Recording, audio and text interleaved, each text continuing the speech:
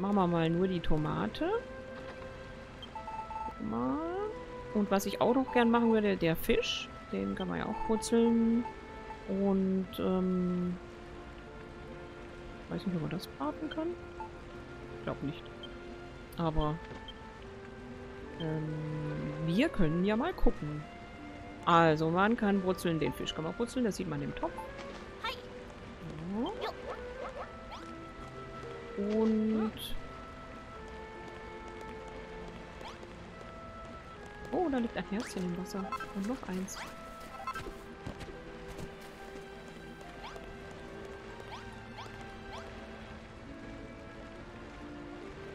Ja, dauert ein bisschen länger, oder? Kommt mir das nur so vor.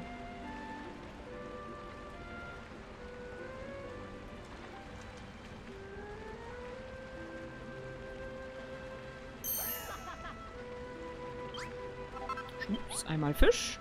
Damit, Anja stellt zum ersten Mal Stockfisch her. Und dann machen wir mal die Tomate.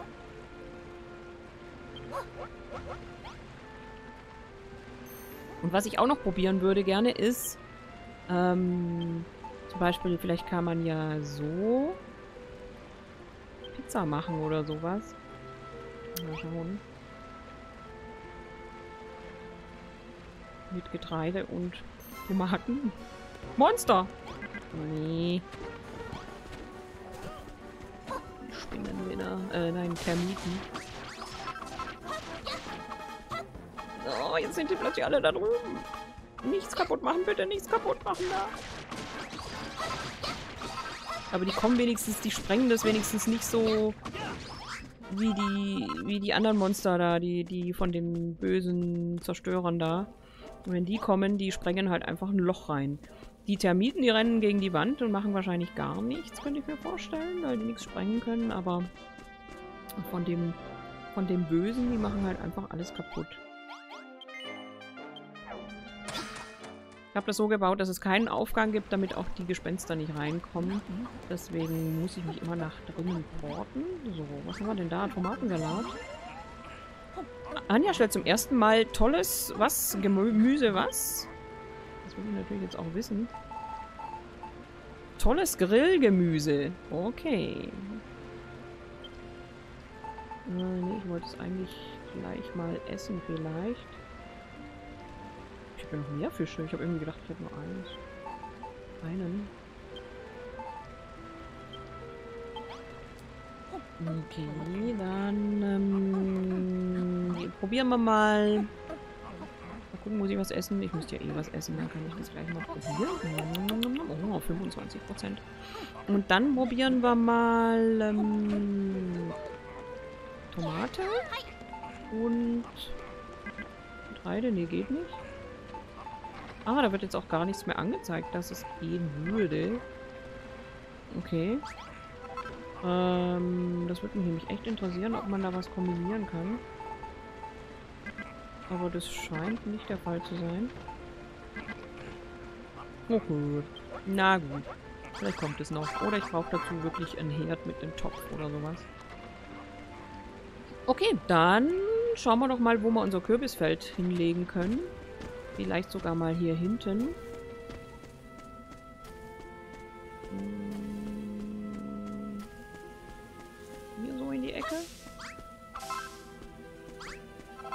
Vielleicht auch gar nicht ganz so groß, nicht so groß wie das Tomatenfeld.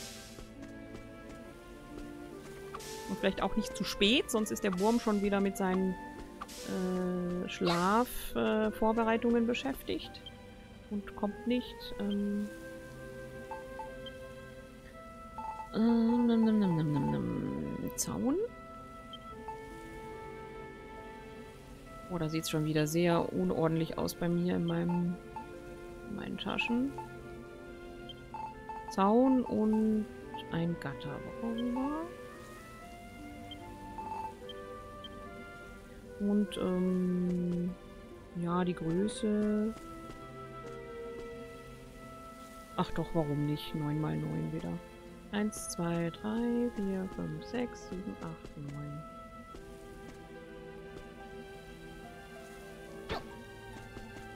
Obwohl, Ah doch. Das passt schon. Weil das dann so nah... Ich habe gerade überlegt, weil das so nah an dem, an dem Felsen dann ist, aber... Also, 1, 2, 3, 4, 5. 6. Geh mal weg, bitte, dass ich was sehe. Weil ich muss gucken, wo der Abgang da ist. 7. 8, 9. So, dann brauchen wir noch einen Eckpfosten. Und dann geht's hier rum. Irgendwie sieht es, glaube ich, doof aus, oder? Ah, mal gucken. Man sieht es halt dann immer erst, wenn man wieder von Weitem guckt, wie das überhaupt aussieht. So. Oh, und dann brauchen wir wieder eine Vogelscheuche. Oh, sie hat es auch gleich gekocht, wenn das das ist. Wobei, so viel Tomaten durften gar nicht in der Küche sein. Oder habe ich... Ich glaube, ich habe noch gar keine Tomaten in die Küche getan.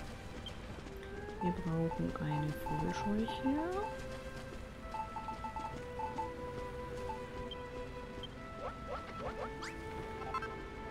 Oh.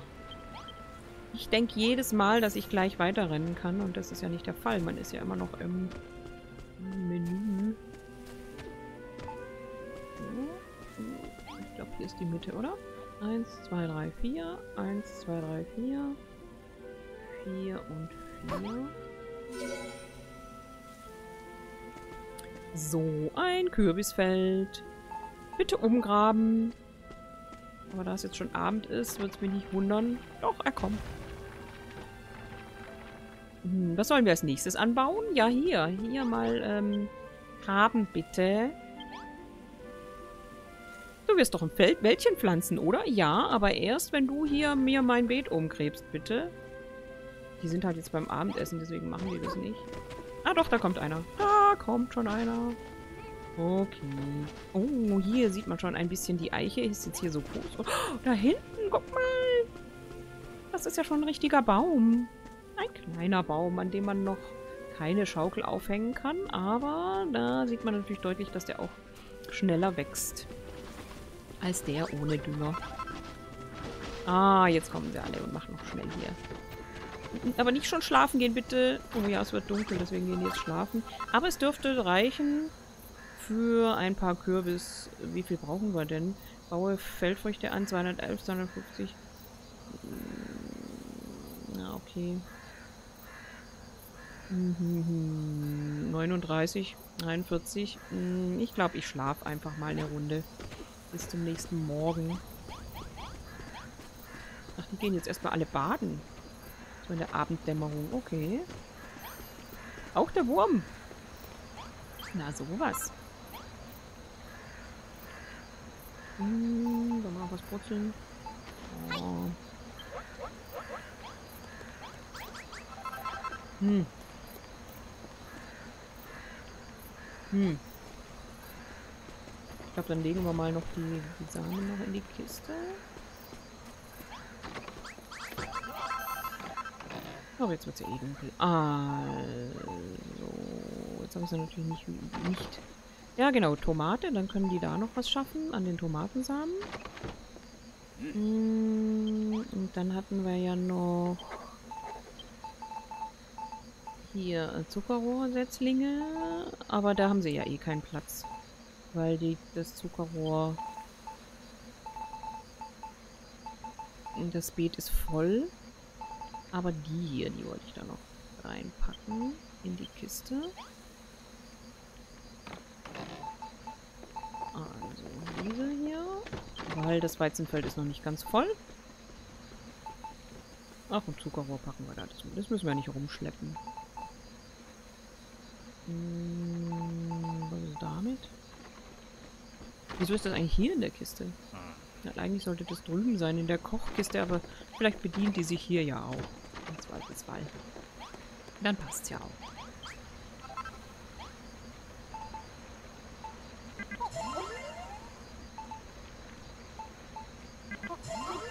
So. Uh, jetzt sind wir wieder satt. Und dann gehen wir noch ein Ründchen schlafen. Und am nächsten Morgen ist dann hoffentlich auch meinen Acker dann so, dass wir ihn komplett bepflanzen können.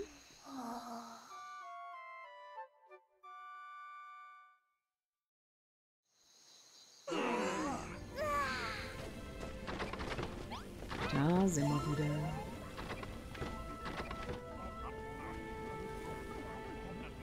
Und natürlich müssen die erstmal alle verschwommen. Also diese einsame Ge äh, Kohlkopf, der gefällt mir auch nicht. Ich denke mal, ich werde tatsächlich das, das Feld... Äh, aber es gibt ein Problem. Ein Problem, das für mich ein Problem ist. Es ist hier eine gerade Zahl, sodass ich diese Vogelscheuche nicht genau in die Mitte pflanzen kann. Hm. Ich könnte natürlich das Kürbisfeld auch hier hin machen. Und da hinten kommt dann irgendwie Wiese hin oder noch ein kleines Gärtchen oder so. Und dann ist das die äußerste Ecke des äh, Kürbis. Das sind ja keine Kürbisse. Kohlköpfe. Das Kohlfeld. Und dann wird es mir wahrscheinlich... Oh, denen schmeckt es aber gut. Und dann bitte nachher gleich arbeiten da, ja? Ähm, das würde nämlich heißen... Mal gucken. 1, 2, 3, 4, 5, 6, 7... Ach nee, das sind nur 8. Das passt ja dann auch nicht so, wie ich es möchte. Oh, wir wollten doch das Wasser verändern. Die Frage ist, was passiert, wenn ich da oben... Das ist ja eine nicht versiegelnde Quelle. Weil ich denke mal, wenn das oberste Wasser läuft immer nach unten. Aber wenn ich das jetzt rausnehme und neues Wasser reinsetze, fließt es dann tatsächlich neu, so wie es hier... Das müsste ich höchstens mal testen an einer anderen Stelle. Wenn ich da jetzt irgendwo Wasser hinsetze, ob das dann rausfließt. Das testen wir jetzt mal. Ähm, wenn ich jetzt hier Wasser reingieße. Äh, das war die falsche Taste. Gute Mine. Tatsächlich. Aha, okay. Jetzt überflut es aber natürlich alles. Das ist sehr unpraktisch. Und das möchte ich ja eigentlich nicht. Deswegen muss ich es jetzt wieder wegschöpfen. So, mega. Okay, so geht es. Aber wenn ich es jetzt... Jetzt müsste ich ein kleines Bassin machen. Mit diesem schönen Wasser. Weil wenn ich jetzt das Braune schöpfe, dann habe ich wieder das Braune im Krug. Deswegen mache ich mir da jetzt ein kleines Becken mit dem schönen Wasser. Und eigentlich müsste ich tatsächlich... Jetzt muss ich mal gucken, ich habe ja noch andere Steine. Hm, sechs Stück. Reicht das für einen Brünnele? Ah doch, die brauche ich ja nachher auch noch. Zumindest ein kleines Brünnele, aus dem ich dann wieder schöpfen kann.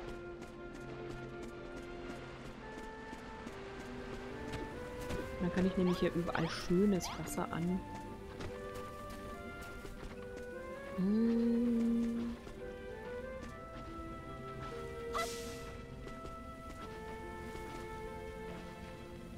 Eigentlich bräuchte ich ja nur... Ach, ich probiere das jetzt einfach aus.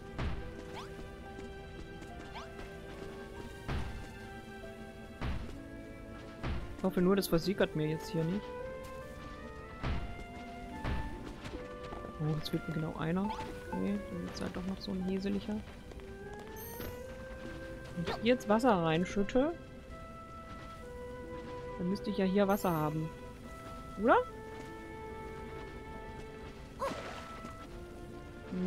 Hm, sorry, vielleicht. Ist da jetzt Wasser drin? Nee. Jetzt. So. Dann hätte ich nämlich hier eine Quelle wo ich das wieder rausholen kann. Hoffe ich. Sonst muss ich halt wieder nochmal zur Höhle gehen. Und dann nehme ich da oben das weg. Ganz hier oben.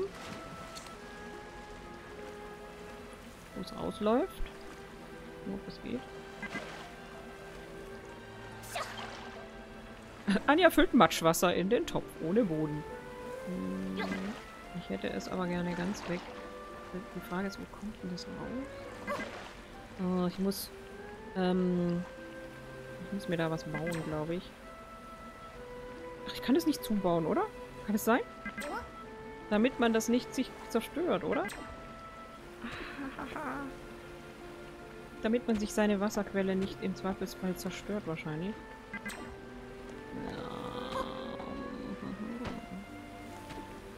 Das ist natürlich dann tatsächlich blöd. Dann werde ich wohl immer dieses Matschwasser haben müssen. Hm. hm mach mal hier das. Das wollte ich jetzt. Ich wollte jetzt die Ranken weghaben. Auch wenn sie gerade schön aussehen. Also sie schöpft. Es wird nicht weniger.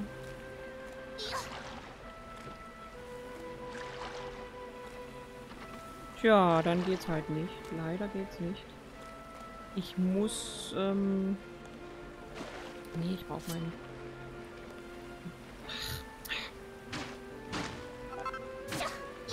So.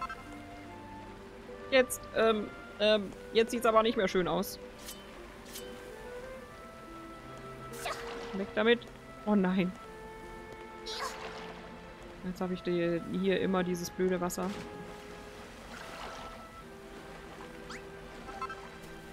Nee, jetzt ist es... Nee. Jetzt habe ich mich selbst veräppelt. Weil, ähm, naja, okay, dann habe ich halt jetzt einen breiten Wasserfall. Mist. Mist!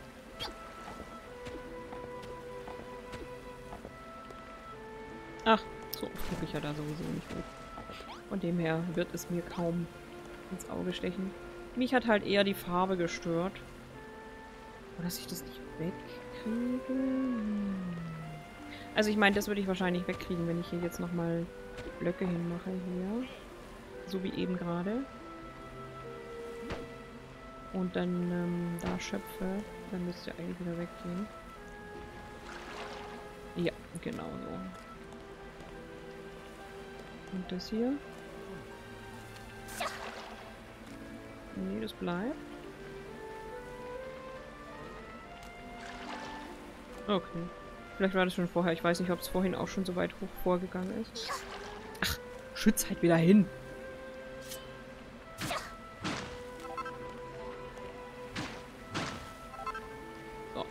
Jetzt ist es wie vorher. No? Hm. Nee, nicht wirklich. Okay. Weiß ich nicht. Jetzt lassen wir es so. Jetzt gucken wir mal zu unserem Kürbisfeld.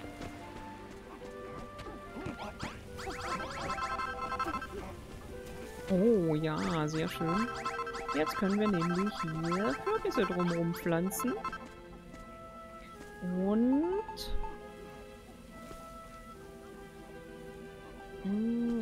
würde ich tatsächlich mal eine Zeile freilassen.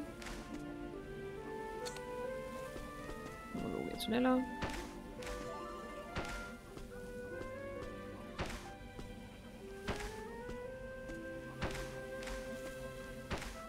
Und gucken, wie das aussieht.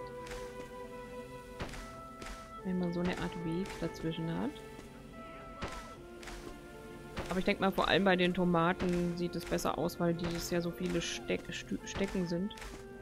Und dann sieht es so ein bisschen ähm, geordneter aus.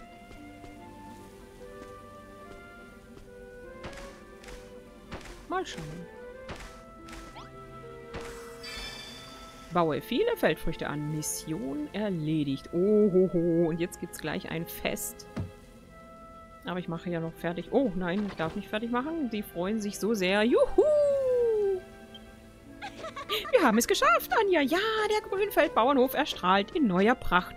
Und zwar heller als je zuvor. Und das Gottesgewächs haben wir auch gedeihen lassen. Nanu, ich sehe jetzt überhaupt nichts, weil ich hier in diesem blöden Ego-Mode bin. Anja, sieh nur! Das Gottesgewächs wird von großer Macht durchströmt. Sehen wir uns das näher an. Oh.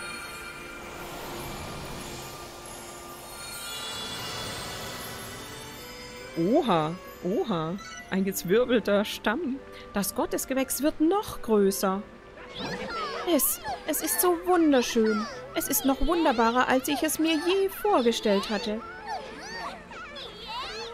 Unglaublich! All die Energie der Pflanzen, die wir angebaut haben, ist ins Gottesgewächs geströmt. Da kommen mir ja fast die Tränen. Uhaha, vielleicht können wir diese Insel doch wieder mit Leben und Licht erfüllen. Wir werden den Übelwind ein für alle Mal von diesen schönen Gestaden vertreiben. Hm, Das Wachstum des Gottesgewächses schreitet gut voran. Vielleicht wird es mit der Zeit sogar zu voller Größe und Stärke heranwachsen. Aber ich fürchte, dass die Kinder Hargons es vorher vernichten werden wollen. Ich muss mich mit dem gescheiten Gibbonsen beraten, bevor es zu spät ist. Aber vorher gibt's eine Party. Heute ist der Tag, an dem der Grünfeldbauernhof endlich wieder oben auf ist. Wenn das kein Grund für ein Erntefest ist, dann weiß ich auch nicht. Hm, warte, wahre Worte, Peer. Hört zu, Menschen. Es wird Zeit, dass wir eure gute Arbeit feiern. Yippie! Da freuen sie sich. Jetzt haben wir so viel Arbeit damit gehabt. Die Saat des Erfolges Teil 2 abgeschlossen.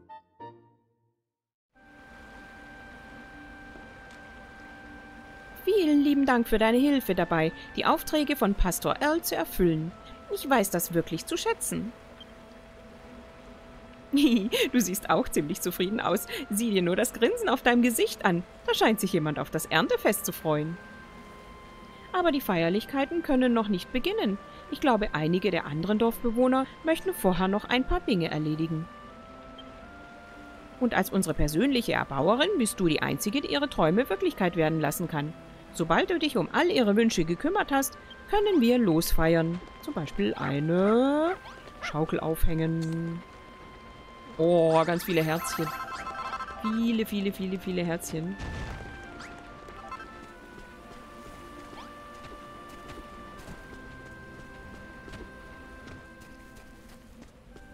Hm, bis jetzt wächst hier noch nichts, aber sie hatten ja vor lauter Freuden noch keine Zeit hier äh, zu, zu, was zu gießen.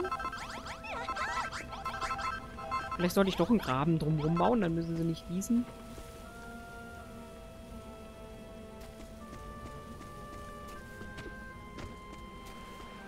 Und er hier geht baden.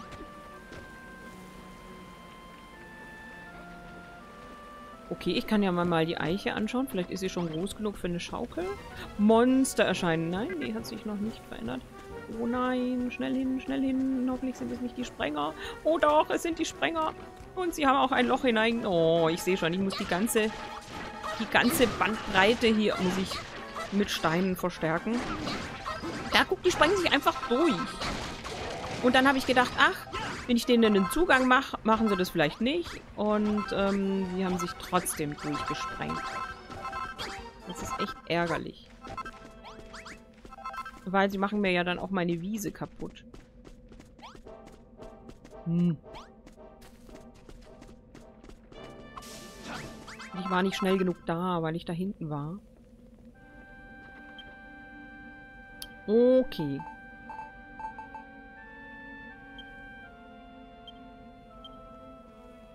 Dann müssen wir dies jetzt wieder vollfüllen. Bin ja froh, dass sie mir jetzt kein Feld kaputt gemacht haben sondern nur eine Wiese sozusagen.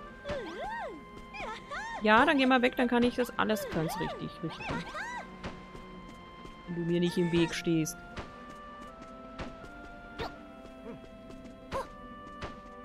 Und irgendwann mache ich eine ganz fette Mauer dahin. Da wird nichts mehr gesprengt.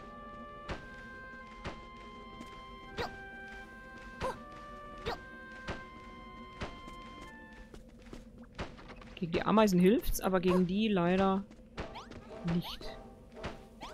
Kinderhargons.